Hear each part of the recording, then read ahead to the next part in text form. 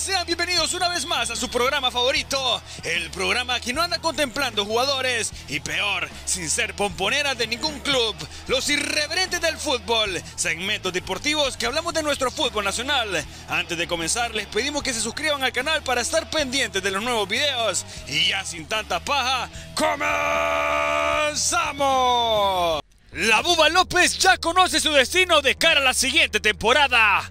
El portero hondureño Luis Aurelio López, más conocido como La Buba, y que igualmente es el guardián de la selección, conoce su futuro de cara al comienzo de una nueva temporada, tras la disputa de la Liga Nacional y su participación a la selección de Honduras en la CONCACAF Nations League.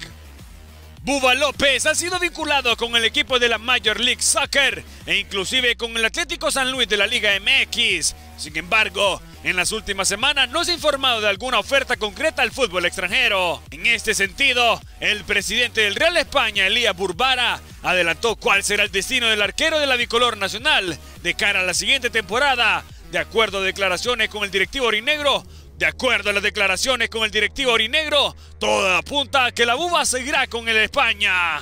Su contrato con los del Eterno Proceso venció el domingo 29 de mayo, el día de la final contra Motagua.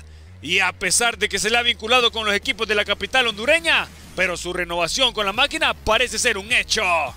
La Buba ha sido campeón en la Liga Nacional en dos ocasiones, 2013 y 2017 y tuvo la oportunidad de ganar dos trofeos más, pero cayeron en la final ante Olimpia y Motagua. Denil Maldonado es pretendido por el Colo Colo de Chile y otros clubes. Y como sabemos, Colo Colo de Chile está por los pasos de Denil Maldonado, aunque no hay nada definido. Además, Talleres de Córdoba descartó ir por el hondureño, puesto que buscan otro perfil. Pero lo que tenemos que hablar es esto. Denil Maldonado es uno de los prospectos más, pero más, pero más interesantes que tiene el fútbol hondureño. Y no hablemos de Centroamérica. Tenemos que recordar que Denil ha sido el capitán en todas las inferiores de la selección. Y recordemos el más importante que fue la sub-23. Ahora, y que va a relegar ese puesto de Minor Figueroa, que ahora el Kaiser tendrá que defender. El presidente del Motagua, Pedro Atala, se refirió del futuro de uno de los mejores centrales de Centroamérica, Denil Maldonado, a quien colocan en la órbita de algunos equipos de Sudamérica.